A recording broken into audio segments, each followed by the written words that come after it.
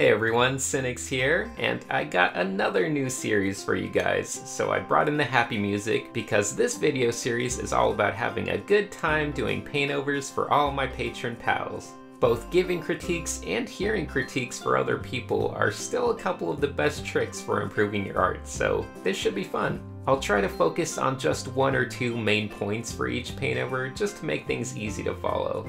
I think that's it, so let's get into it. The first art I have here is a drawing by Viper. It's a cool name.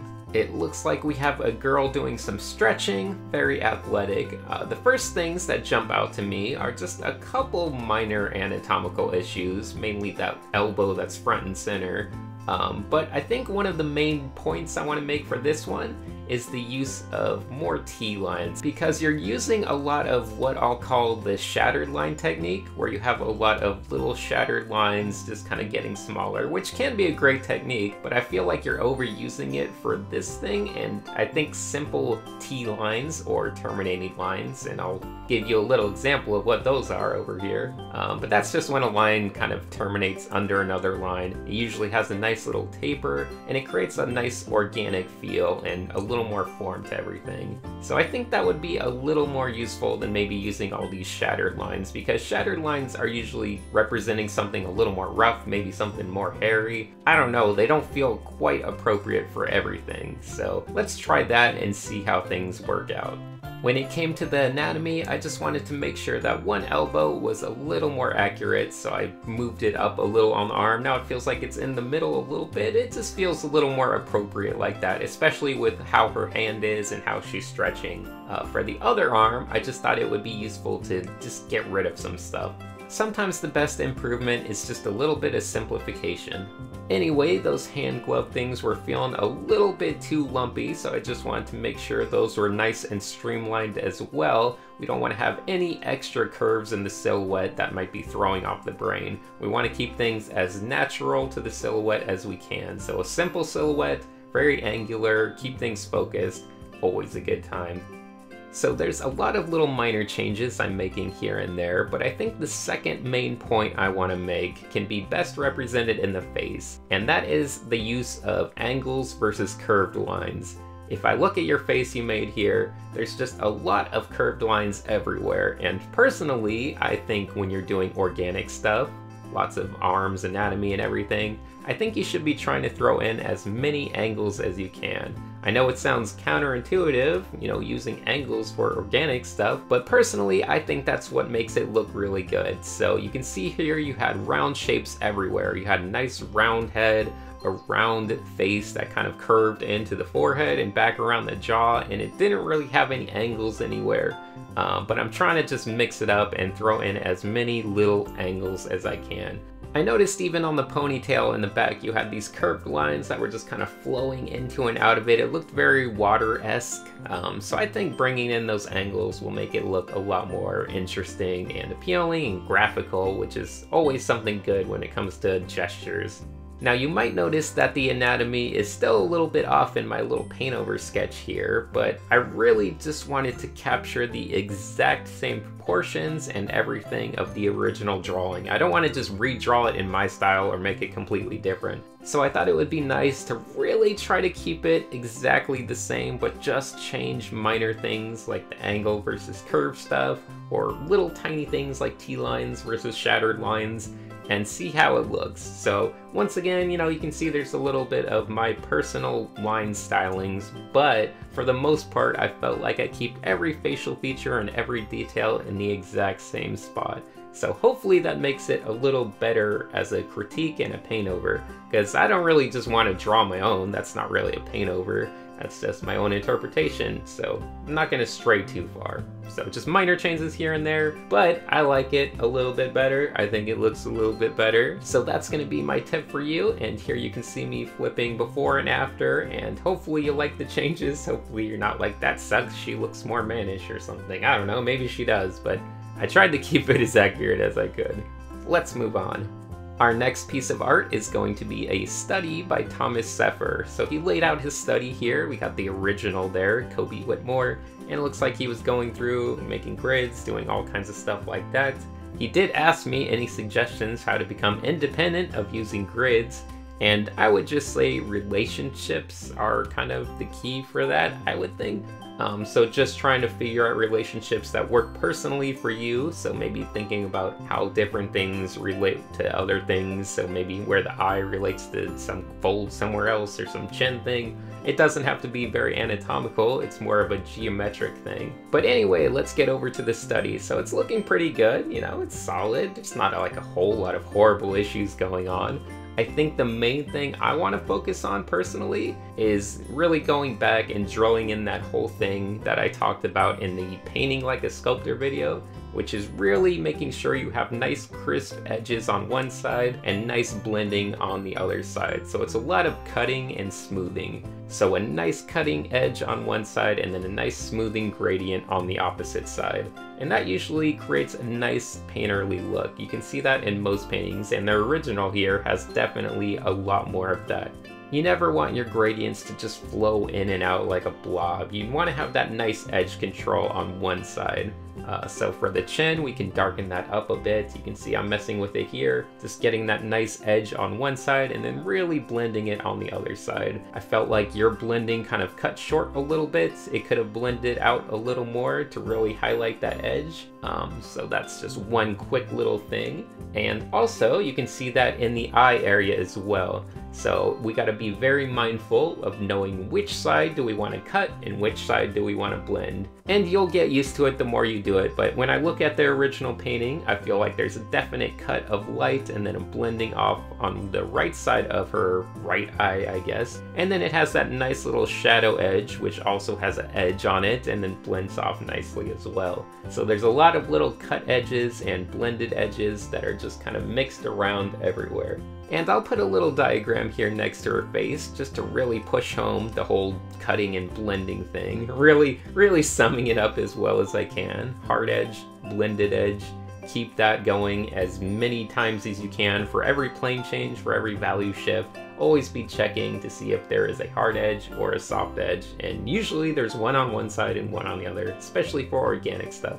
But that's really all old news, so I want to show you a new trick that I'm just going to make up for this video because a lot of people ask, how do I do those brushes and I don't have painter and I can't do those same brushes and it takes me forever to cut and smooth. So I'm going to try a whole new technique for you guys and I think you're going to like it. So on the chin here, I noticed it can use a little extra pop of light, especially under her bottom lip. It didn't feel like her lips were coming out enough into the jowls and the cheek. So if I just use the select tool and make a nice little oval where her chin is, and then I select the inverse of that and then go to a soft airbrushing tool and just lightly brush over the top of it, you'll see that it creates a nice sharp cut with a nice blend going off in the opposite direction. So it really captures that whole hard edge and blended edge thing extremely well. Honestly, I'm kind of amazed at how well and easy that worked, so maybe you guys can experiment with that more on your own. That chin actually looks really nice with this approach. Well, maybe don't use that approach the whole time. Maybe once you're like 90% of the way done painting, then you can start doing stuff like that to really finish it off and make little value changes pop. Uh, but there you go, that's my trick of the day for you guys. Selection tool plus airbrush. Seems to work pretty well. The before image looked really good, but there's always room for more improvements here and there. Let's see, what else do we got here? We have a painting by Rafael Silvas, and I know Rafael pretty well, and that there's one thing I know about his paintings, it's that they're never finished. So let's see if we can give him some good advice on finishing things.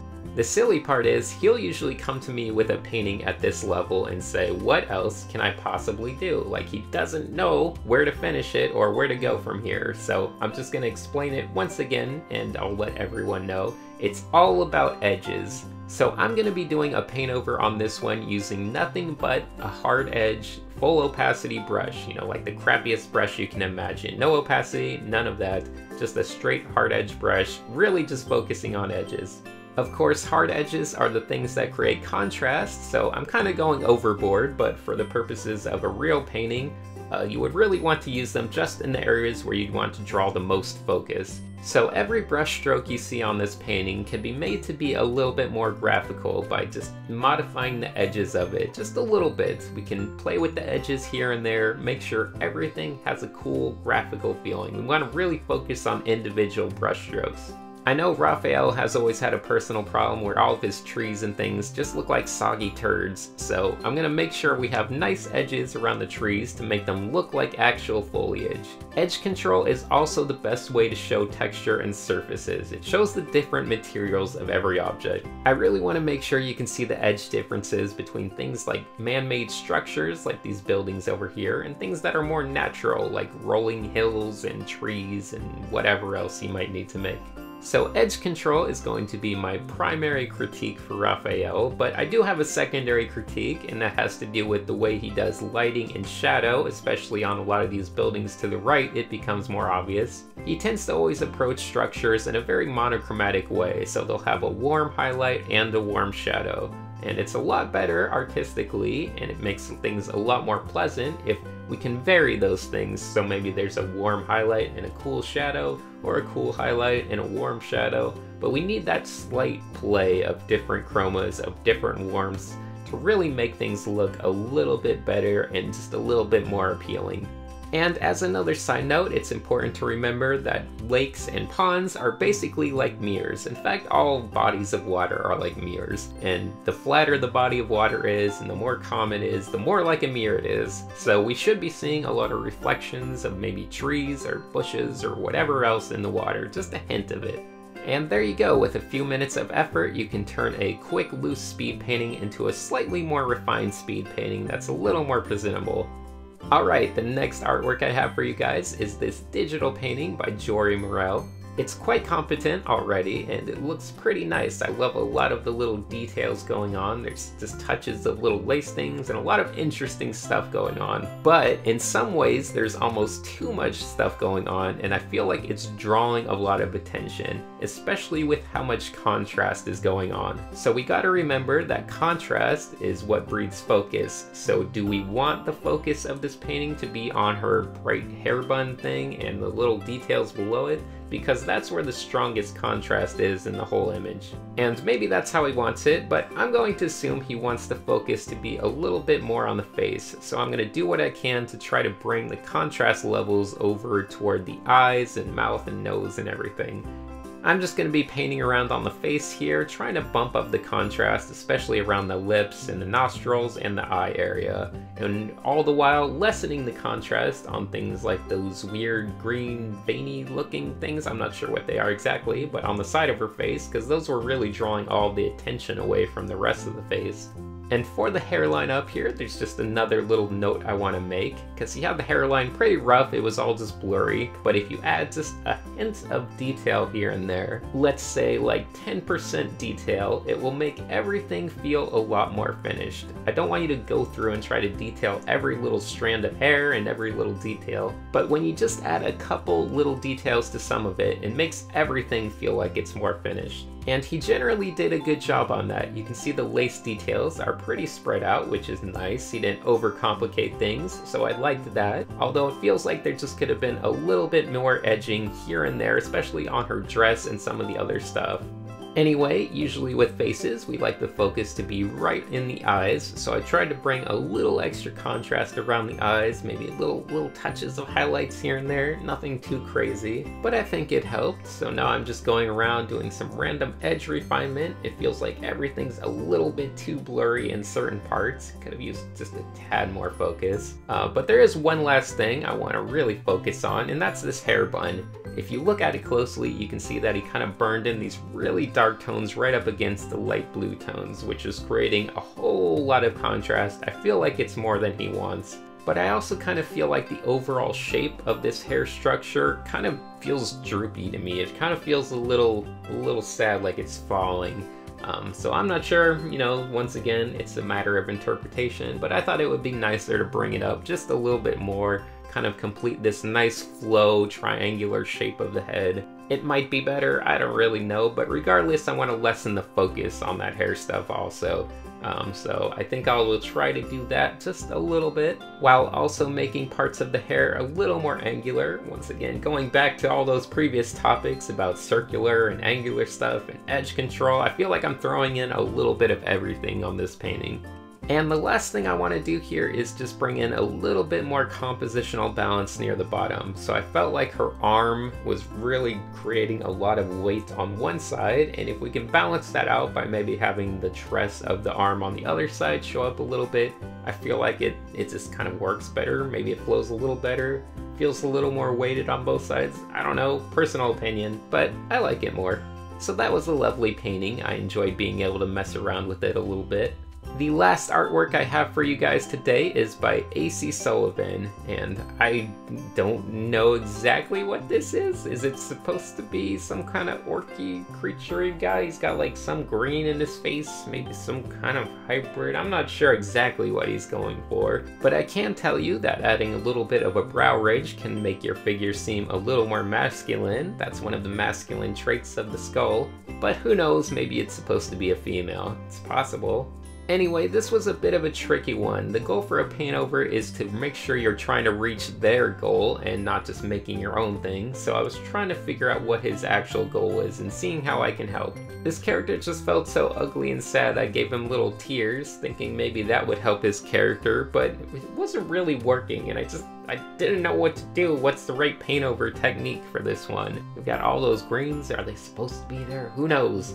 Um, so it occurred to me that maybe I was approaching it the wrong way. Maybe there was some better answer. So I had to take this thing into Photoshop and try to really mess with it. Now in Photoshop, we have something amazing called the Liquify tool, and this is one of the filters, and it lets you just move around everything. So I thought maybe he had just gotten way off track with the anatomy, and we can save this thing, we can turn it back into a really regular looking normal human. And it was during this process, while I was just liquefying everything, that I realized, hey wait a minute, this is starting to feel a little bit familiar. Maybe I'm starting to understand what AC was going for.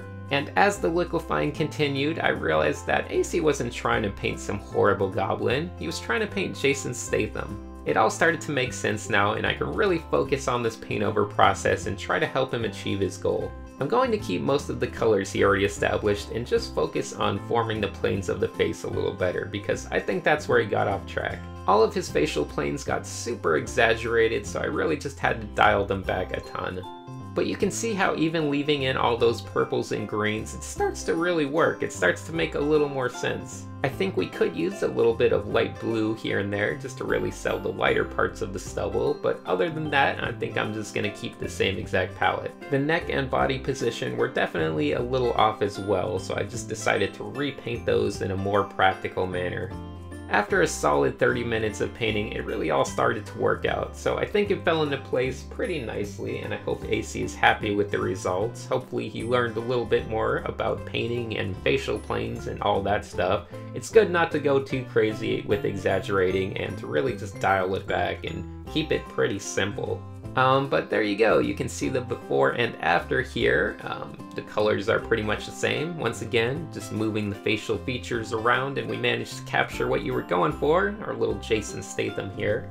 We kept the white shirt, but we gave him a little gray jacket just to class it up a little bit. I think the white shirt alone was a little dingy looking, but I guess that's gonna do it for our first episode of Paint Over Pals. I hope you enjoyed it, I hope you learned something, and I'll be looking forward to more Paint Over Pal action in the future, maybe once a month. That's the goal anyway. If you're interested in that, you can always hop over to the Patreon. There's the link in the description below. And as always, a huge thank you to all of my patrons, not just the ones that gave me art to play with, but all of them as well, big and small. You guys are all wonderful, and I love you.